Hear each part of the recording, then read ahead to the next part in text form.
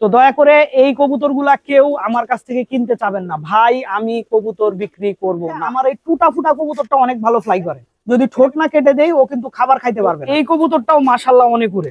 যে বিরল টাইপের রোগ হয়েছিল হচ্ছে আমার এই কবুতরটা। তুমি কি দেখো? কি?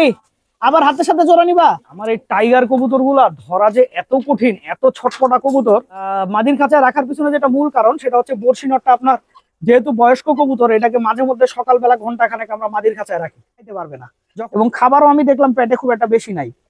আলাইকুম দর্শকবৃন্দ কি অবস্থা সবার? কেমন আছেন আপনারা? আপনাদের সবাইকে আমাদের নতুন একটা ভিডিওতে স্বাগত। তো দর্শকবৃন্দ আপনারা আসলে এর আগে রিকোয়েস্ট করছেন যে আমার বাসার হাই ফ্লায়ার কবুতর কোনগুলা সেগুলো আপনাদেরকে দেখানোর জন্য।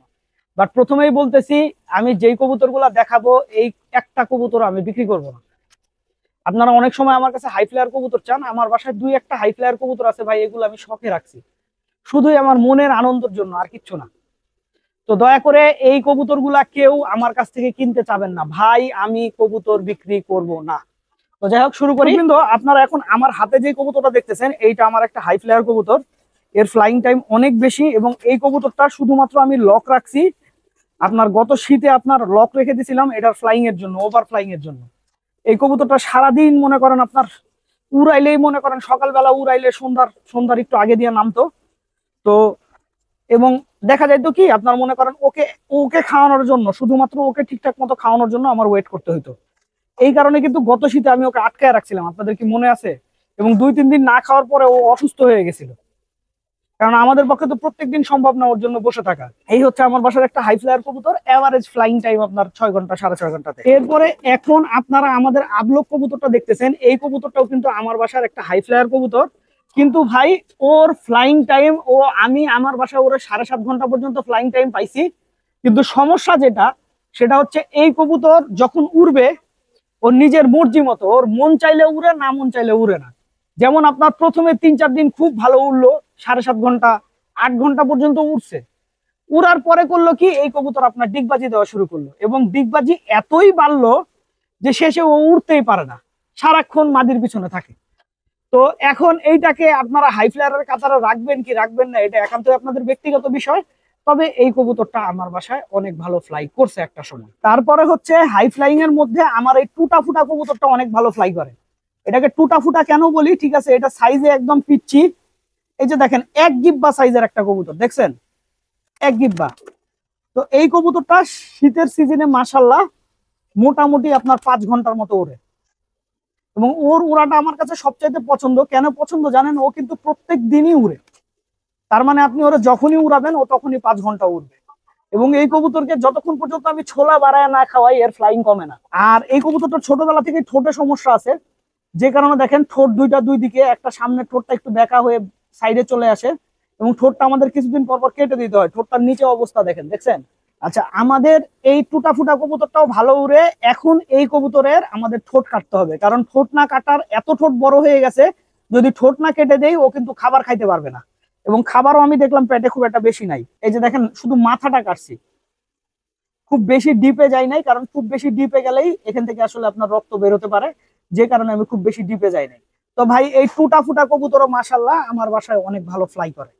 এটা কিন্তু জুলফিকার কবুতর ডাইরেক্ট জুলফিকার কবুতরের বাচ্চা।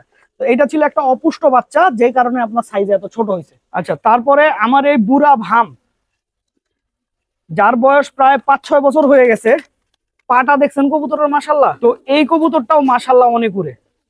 কিন্তু এই কবুতরটারও ভাই, যখন ওর উঠতে মন চায়, তখন ওরে উঠতে মন না চাইলে ভাই ও উড়বে না। তো আপনার যেদিন ওর উঠতে মন চায়, সেদিন ও পাঁচ ছয় ঘণ্টা মতো উড়ে আর নর্মাল টাইমে এক ঘণ্টা উড়ে বসে যায়।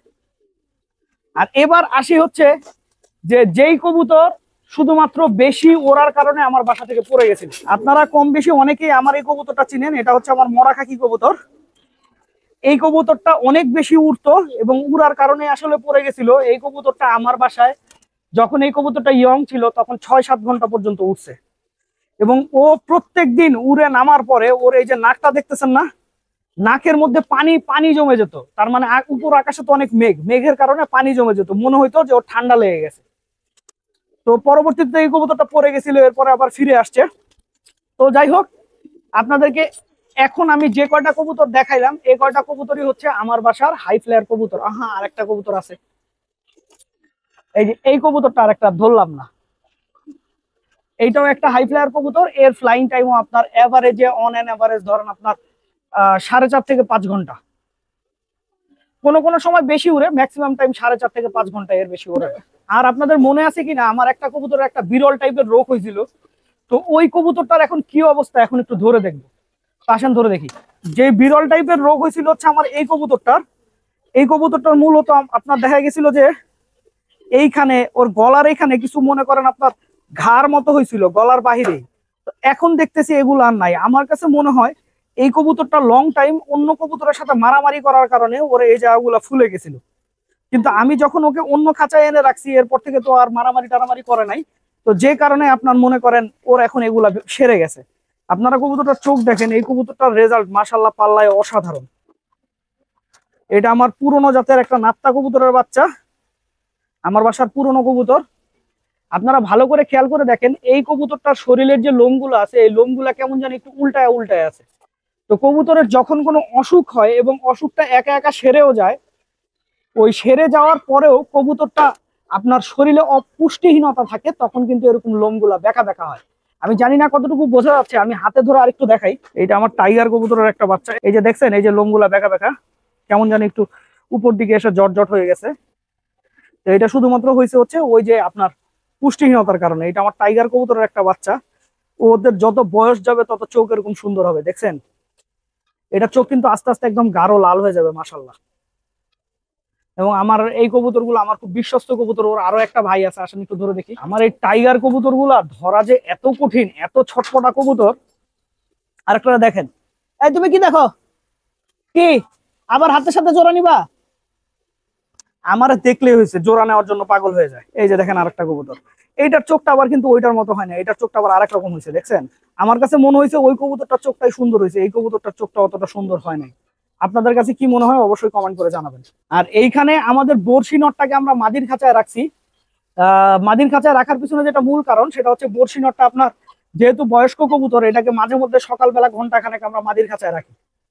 যখন দেখা যায় আপনার যে আপনার চুপচাপ বসে আছে একদিন দেখছি খাবার কম খাইছে, তখন একটু মাদির খাঁচায় রাখলে দেখা যায় আপনার ওর মন ফুরফুরা হয়ে যায়, তারপরে আবার মনে করেন ওরা ট্রান্সফার করে দিই। এই কারণে আমি আসলে যে তার এই- কবুতরটা তো আমার বাসার মোটামুটি সিনিয়র কবুতর, তো আপনার ওরে ঠিক রাখার জন্য এমন একটু করা লাগে। এইটারও ঠোঁট কাটা দরকার, আসলে ঠোঁট কাটা দেয় এটা।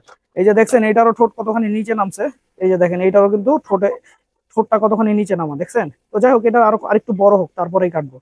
আর একটা ব্যাপার হচ্ছে কি যে আপনার এরকম ঠোঁট বড় হয় বা ঠোঁট লম্বা হয় কিন্তু কবুতরের দর্শক বিন্দু ভিডিওটা আমি এখানেই শেষ করছি। আপনারা সবাই ভালো থাকবেন। পাঁচ নামাজ পড়বেন। আসসালাম আলাইকুম।